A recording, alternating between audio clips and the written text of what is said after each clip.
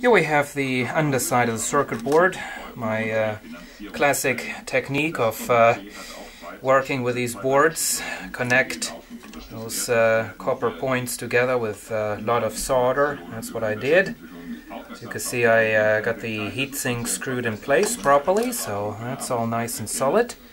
So now I can go ahead and uh, mount it onto the wooden chassis. Hello there YouTubers! Well, as you can see it's very late at night and uh, now it's even later because a previous take turned out to be just way too long. Anyway, this is uh, the most recent um, product of Dr. Cassette's workshop. And uh, looking at the whole thing, you may be already able to tell this is in fact a stabilized power supply. We have a nice big transformer right there. As you can see, quite a heavy duty one. You can kind of tell by the terminals right there. And uh, this uh, came out of an old UPS power supply. The power switch right there, I'll have to replace that. It's messed up. This uh, light inside for some reason lights up all the time, which uh, it's not supposed to do have some electronics right there and uh, the transistor and uh, I guess you can already tell by the shape this is indeed a 2N3055 transistor. The good old favorite for this uh, this kind of an application. We have a nice 5 amp meter right here. Found that at a flea market. I paid 50 cents for it which is an excellent deal considering that these things cost a fortune when you get them in a shop new. Here we have the, uh, the circuit. Found it in the internet and uh, with um, like all circuits you're going to see in this video, I cannot give any credits for them. Don't uh, didn't save the internet address, but uh, anyway, quite a classic setup. We have the uh, 7812 voltage regulator right there, acting as a driver for the 2N3055 transistor. You could just as well put in a setup with a Zener diode. Uh, and then of course we have the usual setup right there. Um, except there is a diode right here. And the diode actually, um, what it does is it raises the output of the 7812 voltage regulator slightly. Now the 7812 voltage regulator is only connected to ground because it needs the ground as a reference point to actually find out what 12 volts are. So uh, it takes this as a zero and then it generates a 12 volt potential between these two pins. Now using this diode we can uh, screw that up a little bit. The diode does have a, uh, well it does have around about 0.7 volts of uh, voltage drop if it's a silicon diode.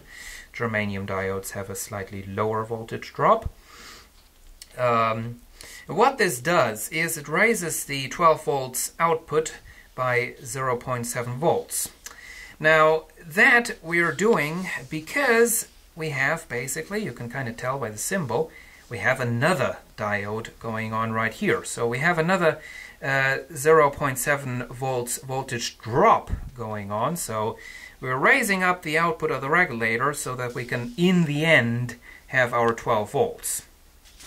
So uh, that's what that is all for. And um, now I actually did that a little bit differently, modified that, because this is uh, this is not only going to be a 12 volt stabilized power supply for all kinds of projects. This is also supposed to be a battery charger for 12 volt lead acid batteries. And if you do a bit of research, you'll find out that lead acid batteries are quite happy if you charge them at uh, a stabilized 13.8 volts. A rather odd voltage. I'm not going to explain why that is. You can Google that for yourself. But um, uh, this um, setup, as you can see, we have the diode in the schematic down there. But there are two more diodes, and uh, using these two pins, you can actually bypass them. If you bypass them, we are getting our 12 volts. In theory, it does not work right now. Um, I'm going to go into that in a second. These two diodes right here, um, I did calculate that, and uh, well, there it is. uh, if I add three diodes, I am getting 13.4 volts of uh, output voltage. Now, the reality is a little bit different, unfortunately. Um, as you can see, we have some more diodes going on right there, and uh, they are not in this schematic. Uh, also in this schematic, we don't have the rectifier bridge. That is sitting right there, and it is um, uh, it is too weak. I'm going to go into that in a second. And uh, filter capacitors have different values. These are some Chinese rubbish uh, 2200 microfarad capacitors.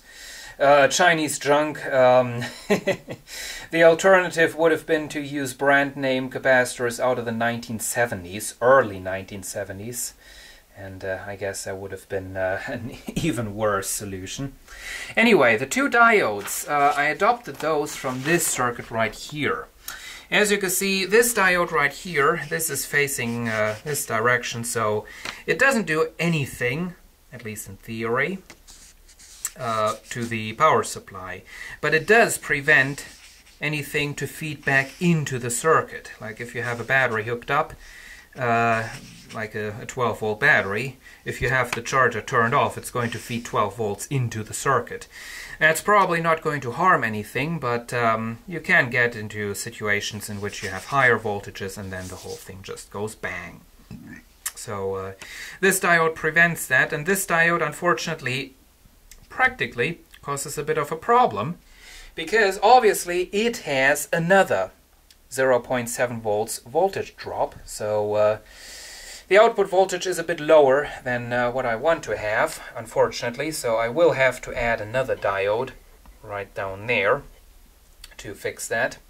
This diode right here, um, this uh, it, it is kind of clever if you use this as a car battery charger or something like that for very, very powerful batteries. What this does is, um, usually it doesn't do anything, at least in theory. And uh, if you hook the battery up the wrong way, what's going to happen is this diode is going to cause a short and uh, you know with a with the power off the battery going through the circuit and it's going to blow to blow the fuse right there. Now that is the theory for big batteries high capacity batteries like from cars or for UPS power supplies or whatever. Now in this situation I guess I'll take out this diode because I guess most of the batteries that I am going to charge are going to be way too weak to uh, even at a even being fully charged up are going to be too weak to uh, feed 3 amps into the circuit. So uh, this diode right there is quite happily going to cause a short. The fuse is not going to do anything and uh, it's going to blow up the battery. So uh, that's not good, so I'm going to remove that diode. Plus it seems to have some funky effects onto the circuit. Can't really tell what's going on, but uh, I have a feeling that uh, it, uh, it does act a little funny.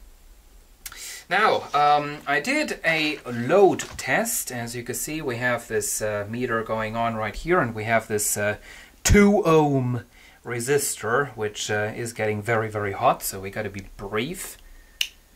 But as you can see, we are getting our 3 amps, and now, the rectifier bridge is too weak. It does get quite hot, so I'll have to see if I can find a stronger one, or if I have to use a, an external 4-diode full-wave rectifier bridge setup. The transistor right here, it does get quite hot. You can still touch it, no problem. Uh, you don't want to do that for all too long, though but uh, this heatsink is definitely appropriately sized.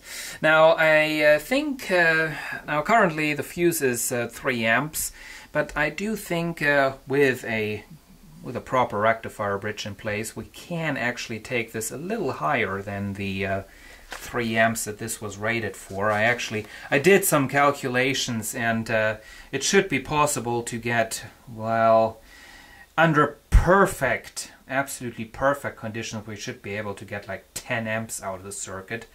But uh, we all know conditions are never quite perfect, so I'd say, well, 4 amps, maybe 5.